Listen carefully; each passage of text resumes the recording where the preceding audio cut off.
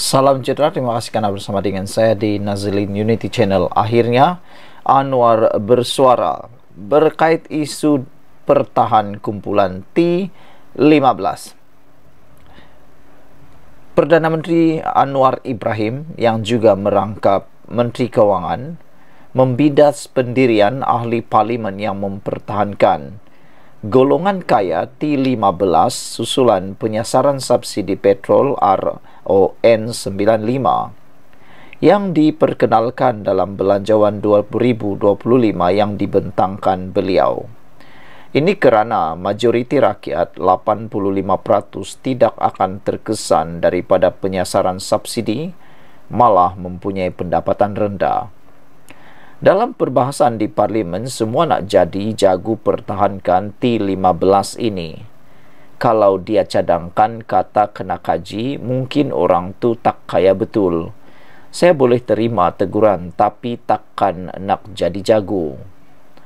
Ini politik apa? Inilah negara di mana orang politik riuh rendah nak mempertahankan orang kaya T15. Orang kampung mereka tanya tak, Katanya ketika berucap dalam lawatan kerja dan majlis ramah mesra bersama masyarakat Padang Rengas di Perak hari ini. Jika anda tak faham apa yang Anwar cuba sampaikan ialah Anwar Ibrahim sebenarnya cuba mengatakan bahawa inilah negara yang mana ahli politik pula yang paling sibuk terpaling mempertahankan orang kaya T15 Orang kampung pula, orang kebanyakan pula, 85% atau boleh kata 90% penduduk Malaysia tak riuh rendah pun pasal nak mempertahankan orang kaya ini. Hanya ahli politik yang riuh rendah mempertahankan T15 orang kaya ini. Kenapa ya? Persoalan itu mula timbul. Agak-agak kenapa pula ahli politik yang menjadi riuh rendah? Seakan-akan mereka pula juru cakap orang-orang kaya maha kaya ini. Orang maha kaya pun diam aja. Ha, tapi orang politik pula yang riuh rendah nak mempertahankan orang kaya T15 ini. Yang hebatnya, orang kampung mereka tak tanya pun, mereka tak beriuh pun. Bahkan mereka okey je. Hmm, 90% rakyat Malaysia tak pun mempertahankan apa yang disebut oleh Anwar Ibrahim itu. Katanya ketika berucap dalam majlis lawatan Majlis Ramah Mesra, kategori isi rumah T15 merujuk kepada istilah yang digunakan untuk menggambarkan 15% isi rumah teratas dari segi pendapatan dalam masyarakat. Maknanya, 15% penduduk terkaya di Malaysia kenapa pula nak dipertahankan sangat oleh ahli-ahli politik? Mengulas lanjut, Anwar meminta orang ramai supaya memahami mengenai penyasaran subsidi RON 95 dengan mendengar dan menilai sendiri apa yang diperkatakan oleh ahli politik terbabit. Orang tu mungkin ada janggut, pakai kopiah atau pakai kot semua nilai yang betul, nilai dan bincang sama ada dia faham ke ekonomi. Sama ada niat ikhlas untuk bangunkan negara atau kerana dengki, katanya.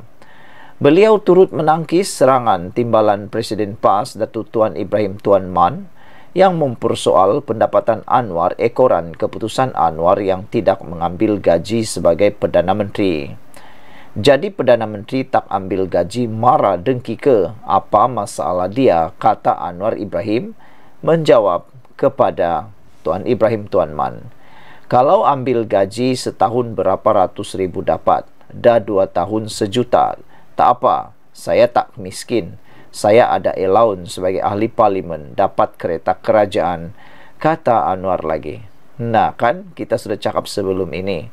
Anwar Ibrahim tak ambil gaji, tapi dia masih cukup dengan allowance beliau sebagai Perdana Menteri dan juga telah diberikan kereta kerajaan. Jadi nak apa lagi?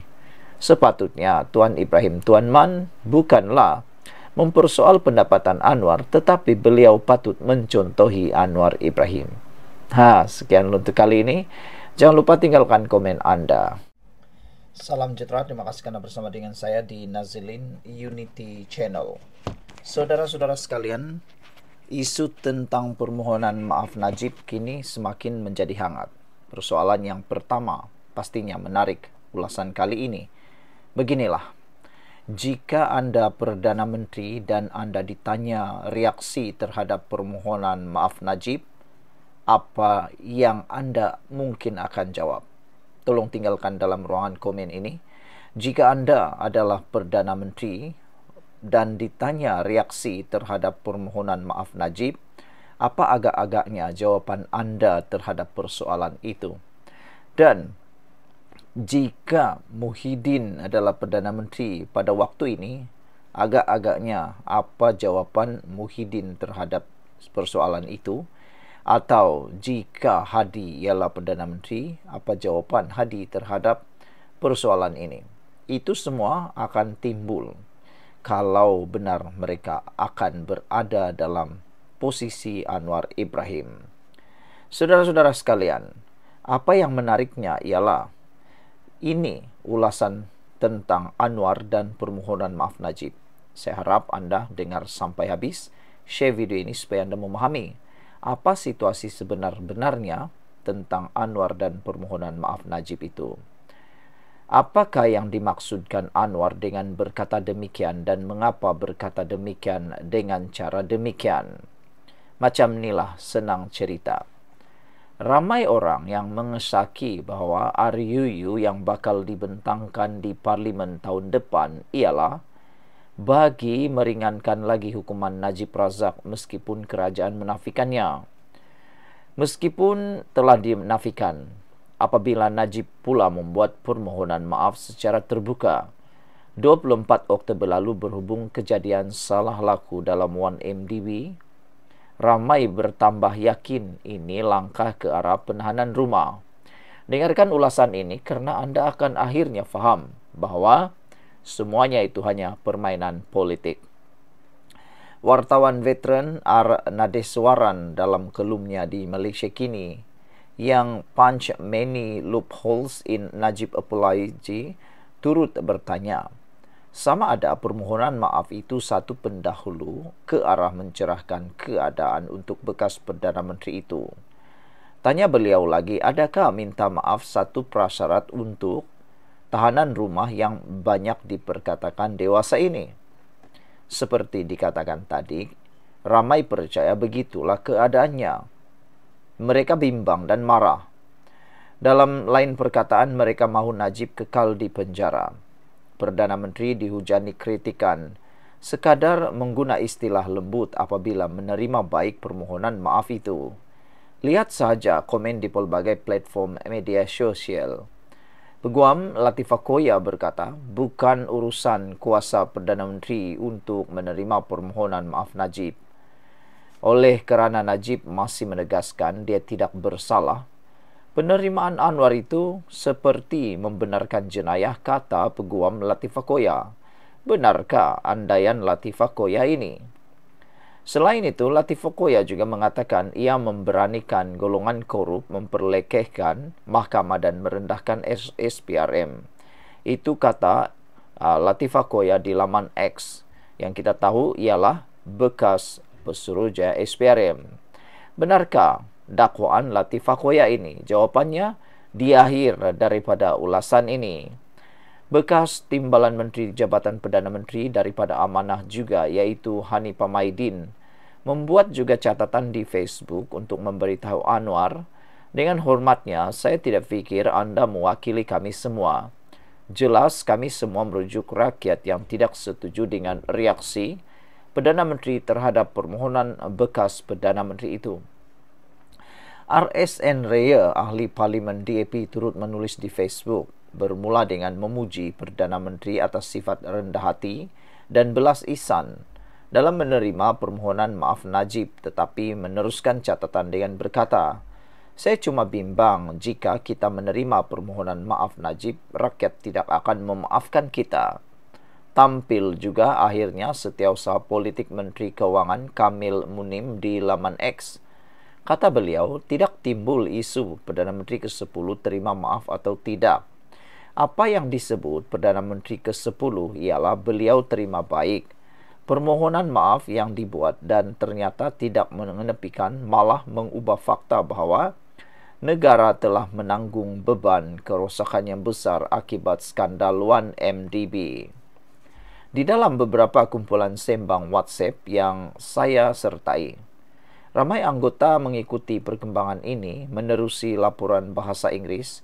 Istilah yang digunakan termasuklah seperti accept, welcome, well received merujuk kepada reaksi Perdana Menteri ke-10.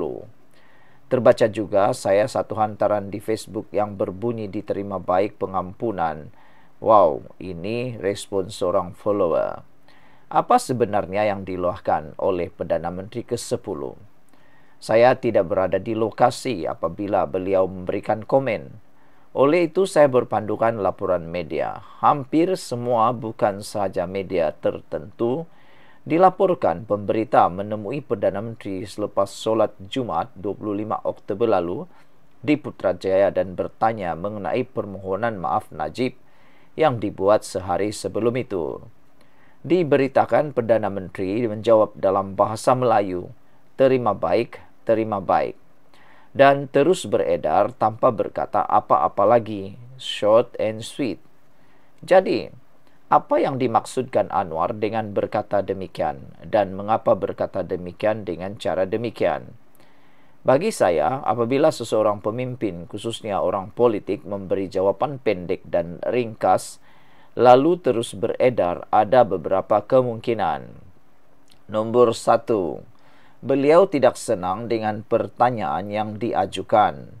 Nombor dua, beliau tidak suka subjek yang diajukan. Nombor tidak, tiga, tidak mahu menjawab. Dan nombor empat, beri jawapan yang selamat. Saya rasa begitulah juga keadaan dengan Perdana Menteri ke-10 semasa ditanya pemberita mengenai permohonan maaf Najib Beliau boleh memilih untuk tidak menjawab tetapi mungkin pada kiraannya itu akan mengundang pelbagai reaksi dan spekulasi. Memang susah bro Anwar nak jawab. Kata Anwar boleh kata Najib boleh kata apa yang dia nak kata. Since the case is still with the court will which will decide kata seorang kawan lama yang juga penyokong tegar Anwar Ibrahim. Beliau merujuk permohonan maaf itu dibuat enam hari sebelum Mahkamah Tinggi Kuala Lumpur akan memutuskan sama ada Najib perlu membela diri dalam kes rasuah 1MDB yang bermula lima tahun lalu.